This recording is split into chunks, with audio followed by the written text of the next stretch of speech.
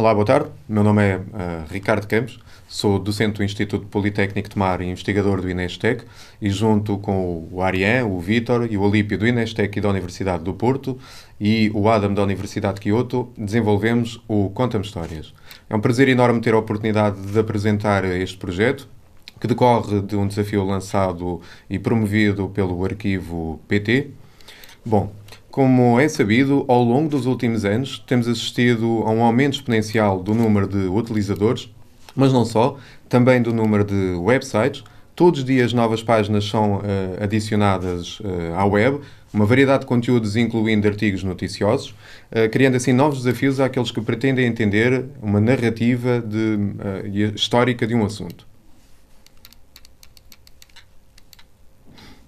Alguns destes desafios incluem uh, o Big Data, uh, na verdade um, tem havido um crescimento exponencial na última década, um novo volume de dados, uma maior diversidade de, de fonte de notícias, incluindo os mídias sociais, mas a verdade é que mais informação não é mais qualidade e muitas das vezes isso tem levado à manipulação dos factos, um termo muito em voga nos dias de hoje, bem como ao isolamento intelectual dos utilizadores uh, em zonas de, de conforto. Uh, levando ou podendo levar ao estabelecimento de uma ditadura digital e à sobrecarga da informação, tornando praticamente impossível ao comum dos cidadãos a gestão, o acesso e a memorização da informação ao longo do tempo. Num contexto tão dinâmico, os uh, arquivos da web são da maior importância como forma de preservar os documentos e, desta forma, prevenirem a perda de informação e de conhecimento. O arquivo uh, .pt é um desses exemplos, outros de igual valor existem por esse mundo fora, nomeadamente o Internet Archive. O Conta-me Histórias surge precisamente neste contexto e decorrente de um desafio lançado há cerca de três meses pelos responsáveis do arquivo PT, como um contributo para o entendimento de um qualquer tópico ao longo do tempo. Mas afinal, o que é que é o Conta-me Histórias? Bem, o Conta-me Histórias permite ao utilizador montar uma narrativa a partir de notícias sobre qualquer assunto. Uh, nos próximos slides eu vou falar sobre a arquitetura uh, de suporte ao Conta-me Histórias e é precisamente uh, nesta arquitetura que temos o, o primeiro passo, que é a aquisição das notícias. Ora, basicamente, e dada uma consulta introduzida pelo utilizador, fazemos uso uh, da API do arquivo para, em tempo real e de forma paralela, aceder aos conteúdos de 24 fontes noticiosas selecionadas pela equipa de investigação. Um, é importante reter o facto que esta não é uma coleção fechada, no sentido em que, se uh, os responsáveis do arquivo PT decidirem no dia da manhã incluir um snapshot do ano 2017, também nós, a nossa eh, aplicação está apta a, para, no dia de amanhã, a replicar esses mesmos resultados de 2017 para os utilizadores do Conta-me Histórias. E por conteúdos entendam-se aqui artigos noticiosos, compostos obviamente por título e por uh, notícias, e é, uh, neste, no âmbito deste projeto fazemos uso uh, dos títulos. Os títulos, como teremos a oportunidade de ver mais à frente na, na, na parte dos resultados, são textos verdadeiramente descritivos, e é precisamente esta infinidade de títulos que vai alimentar a fase de pré-processamento e que eu vou passar a descrever nos slides seguintes. Ora, o nosso primeiro grande contributo nesta fase de pré-processamento é a detecção dos intervalos de, uh, de tempo. Na figura que eu trago aqui, é, ela reflete exatamente a detecção automática perante a nossa abordagem de cinco períodos de tempo relevantes. É importante, no entanto, notar que dentro destes cinco períodos de tempo relevantes cabe uma série uh, de títulos, uma infinidade de títulos que seria obviamente impossível de transpor todos eles para o utilizador sob pena de os estarmos a sobrecarregar com demasiada informação. E isto, de alguma forma, motiva o próximo passo, que é o passo onde vamos tentar aferir automaticamente quais são os, uh, os títulos mais importantes de mostrar ao utilizador. Chamamos a este passo, e será a nossa segunda grande contribuição neste projeto, a ponderação dos títulos, onde fazemos uso do IAKE, Yet Another Keyword Extractor, que é um sistema desenvolvido também pela nossa equipa de investigação e que basicamente vai dar uma ponderação, ou seja, uma importância aos títulos consoante os termos que o compõem.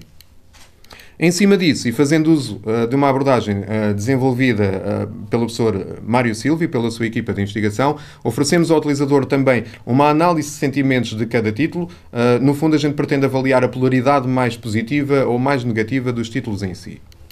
No fundo, ao determinarmos os períodos de tempo mais importantes por um lado e a relevância dos títulos mais relevantes por outro, estamos em condições de construir uma narrativa temporal do tópico em questão. Nos próximos slides vou então mostrar um exemplo de utilidade do Conta-me Histórias. Uh, basicamente, é, oferecemos ao utilizador a possibilidade de ele fazer uma filtragem ao nível temporal, mas também a possibilidade de fazer uma filtragem por provedor de notícia, possibilitando ao utilizador comparar a forma mais sensacionalista ou factual como determinados meios noticiosos acompanham um determinado uh, tópico. Neste exemplo, vamos explorar os resultados relativos à pesquisa Troika em Portugal, mas é bom uh, e importante reter que o utilizador pode colocar aqui a pesquisa que muito bem entender e de salientar também que fazemos cache no sentido de não sobrecarregar o arquivo com constantes uh, chamadas ao arquivo PT um, e podemos observar aqui que oferecemos ao utilizador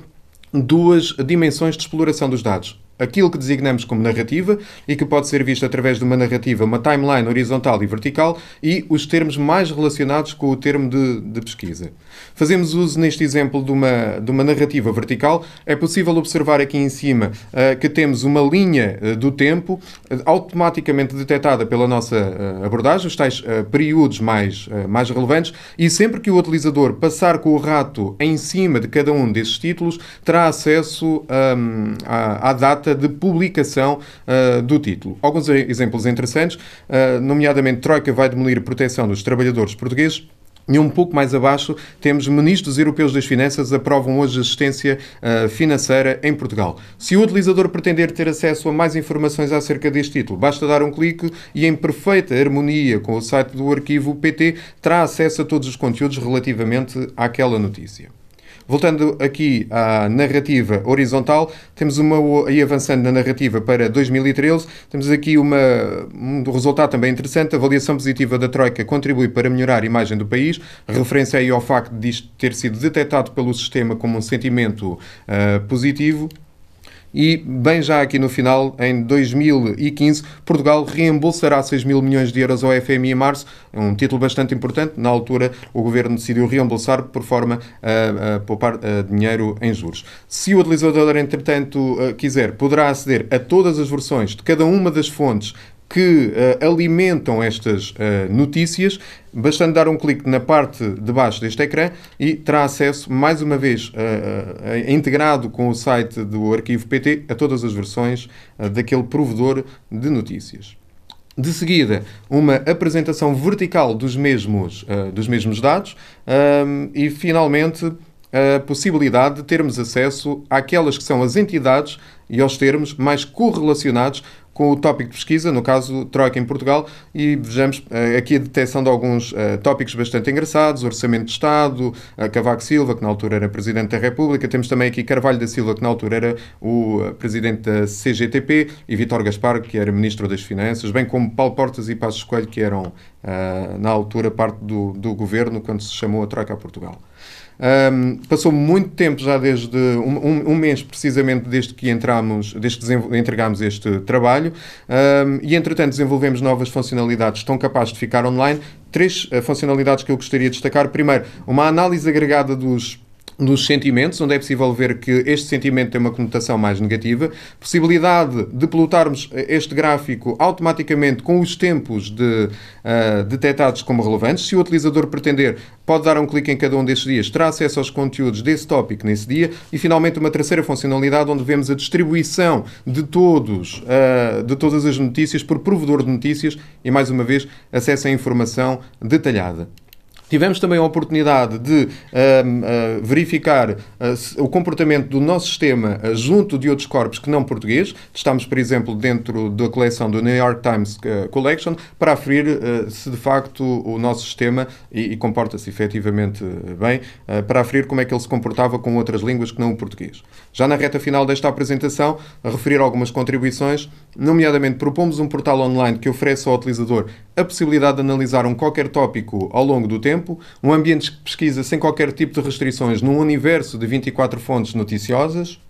possibilidade de filtrar resultados por data ou por provedor de notícias, diferentes formas de exploração dos dados, incluindo timeline e nuvem de palavras, uma solução inovadora que detecta não só os títulos mais importantes, mas também os períodos de tempo mais relevantes e análise de sentimentos com recurso ao Sentilex. Acreditamos que o Conta-me Histórias é, neste contexto, um importante contributo para melhorar a democracia eh, e, eventualmente, torná-la mais transparente, ao permitir a um jornalista, por exemplo, de investigação, preparar-se para, uh, para o seu projeto ou para uma entrevista, a um político, para um debate e mesmo a um historiador ou cidadão comum, incluindo estudantes de qualquer idade, de comentarem-se para um qualquer projeto. Muito obrigado.